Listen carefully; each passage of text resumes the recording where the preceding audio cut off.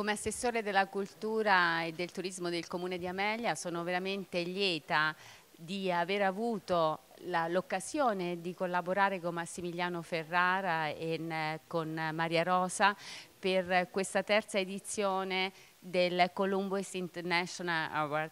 È stata un'esperienza bellissima, siamo contenti che Amelia sia stata eh, vista e conosciuta come luogo in cui è avvenuto questo, eh, questa terza edizione che abbia accolto così tanti premiati che hanno portato l'italianità nel mondo. Il prossimo anno sarà l'anno delle radici, del turismo delle radici italiane nel 2024, per cui eh, rivolgerci a tutti gli italiani che sono all'estero, anche di terza, di quarta generazione, per noi è un grande onore.